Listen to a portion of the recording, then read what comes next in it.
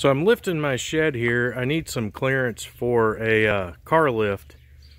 And I see a lot of guys on the internet, uh, they've only got one door opening and the car lift is going to be centered in their shed and they actually install the lift first between a couple of rafters so it has the clearance to be installed and then they use the lift itself to lift their garage up. They build a, some sort of bracket system. Unfortunately, they don't show it very well. But that's not what I got going on here. You can see I got two doors and the lift is not going to be centered in the garage. It's going to be centered in one of these bays. So I can't use the lift to lift my garage, unfortunately.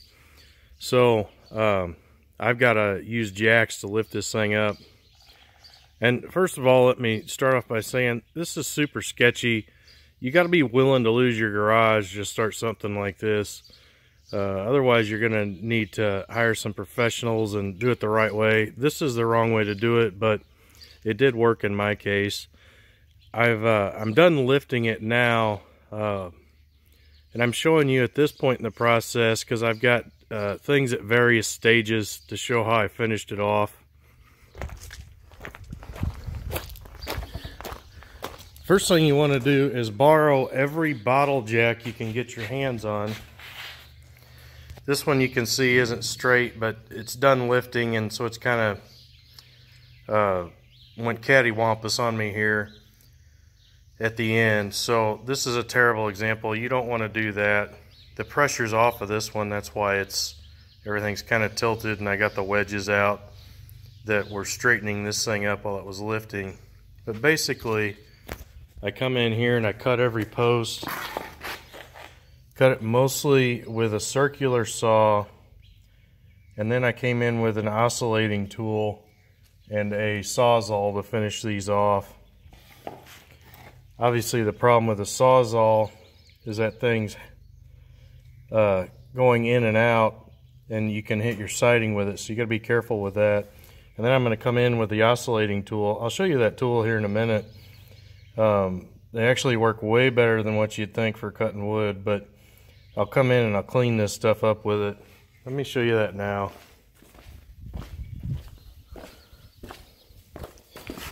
These are really inexpensive. You can get name brand ones even for like 50 bucks.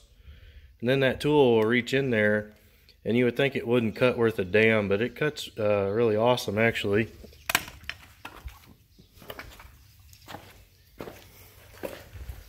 So after I, I cut these things, of course, I installed, uh, I don't know what you'd call that, a brace on each post that I could, uh, you know, it stays screwed into the bottom, and then as you lift, you've got to unattach all the screws at the top while you're jacking, and then when you're done jacking, you got to reset the jacks because the jacks are only going to go like six inches at a time. Then I screw into the top and obviously, the more, the higher you go, the sketchier things get. You really got to worry about the wind. That should be obvious to you. You shouldn't really be trying this unless you've got some sort of experience with these types of things where you understand bracing and the way things need to be braced up. Like I couldn't just, like this jack uh, board here, I wouldn't just want to attach it here at the bottom you got to get some bracing way up high too, so it's got some stability. This is the one I'm jacking off of here. Huh, that's what she said. So you'll unattach all of them all the way around, all these braces all the way around as you're lifting. And then that jack is pushing on this. Now this whole building's 24 by 24 and it's completely empty inside. No, uh, interior finishing and so forth. My math shows that this thing weighs 4,000 pounds. Now I've added some weight, obviously, here for this bracing. So might be 4,500 pounds as I'm lifting everything. But I've had it split between, uh, I think seven jacks was the total. One, two, three, four, five, six, and then, yeah, seven. Here's where I've already finished and installed my bracing. I guess you build like a header to install in there. And unfortunately, these boards or this uh, lumber that I had to start with isn't perfectly dimensional. So it's been a little difficult to fit that sizing, but that's just a problem that I have that you may not have. So I'll install this in, of course, and then get a full length 2x6 in my case here to kind of tie everything together. And then wherever possible, you're going to want to brace this other side here too. Uh, I'm probably not going to run these all the way up where I'm able to brace them, but ideally, you know, like on this one here, I could put a 2x6 on either side, at least if my header thingy uh, was fit a little better. Every one of my posts is a different different size, unfortunately, slightly different. So as I did my math to build these headers, well, this one was way off because this this original post is uh, was way undersized. Anyway, uh, ideally you'd want to go a brace on this other side, and I'm going to come in with some patches at least to tie this in together a little better. I'm to have some scrap at the end, and uh, we'll we'll tie that in a little better. But you at least want a full length post on one side at a minimum.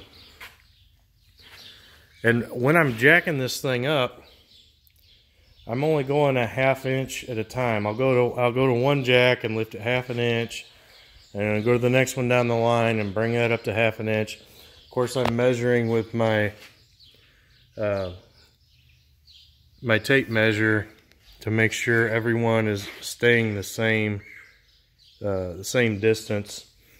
And so it takes a while. So you you'll do your half inch, work your way around, and then go another half inch, work your way around until at least one of the uh, until one of the jacks is at its max lift, and then you match that one. Come in, tie your post back in uh, with screws, and uh, start it over. Now on these, on these I would take this jacking post and unattach that and you know lower the jack and and drop this post back down drop the post back down on the lower jack. But on some of these like this one I didn't have a board that I wanted to use here that was any longer and didn't want to reattach it and so I had to build some cribbing uh, it's not perfectly cribbing there but uh, had to had to to get the jack higher up in the air. If you go higher than that, you would have to do a traditional cribbing where you crisscross things. So that is a way to do it. Now, unfortunately, we had a really terrible storm after I had this thing lifted at uh, 25 inches. Had a real, you know, like 60, 70 mile an hour winds. There's a tornado in town even and it did survive. It wasn't on the jacks overnight during the storm.